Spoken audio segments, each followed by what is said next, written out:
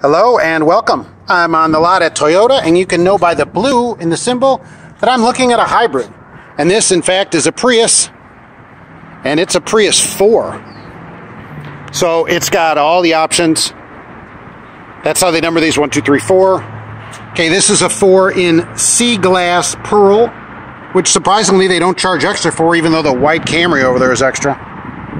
Now let's go first to this. I always love looking at these rear bumper appliques, rear bumper protector on this one. $105. It's plastic. Nice. It's stuck on there. There's double-sided tape. They peel it off, stick it on there. Takes two seconds. All right. But as you can see, this car's loaded. Fully loaded. A 4 has everything. Fancy radio, all kinds of safety equipment. and it's got a price to match 32468 what do you think about that? Numbers 5450 and 52 combined. Pretty good. Satellite radio standard. But this not great. 32 i mean you can get a car that does better. You know it may not do better on gas but you'll never save that much gas. It surprisingly comes with bridgestone tires on it so that's good anyway. I don't know about this color. I think if spending 30 grand, I don't know if I could live with this color every day. It is an interesting look, certainly.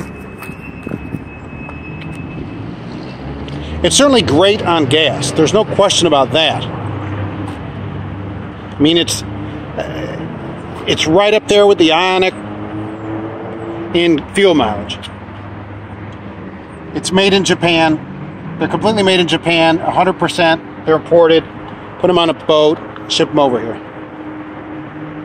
But in Japan, they make good money, so it's not the worst case scenario.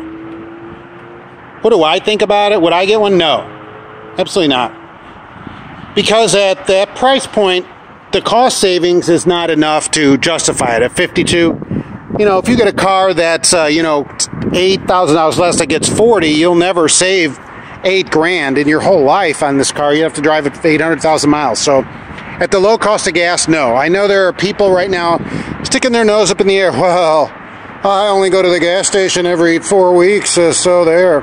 All right, well, so you only go to the gas station for once in a while. Getting gas is not that hard. It doesn't take long. I'm not that concerned about it. Am I saying go get four miles a gallon? No. But this, because of its money, uh, I don't think it's worth it. I just don't but it might be the car for you. It certainly says hybrid. You know what you're driving, and you're there to let everybody else know you're driving. So that's some numbers on a Toyota Prius 4. Maybe get a different color, certainly if you have to get one to save gas. And uh, that's about it. We'll be back with more. Thanks for watching.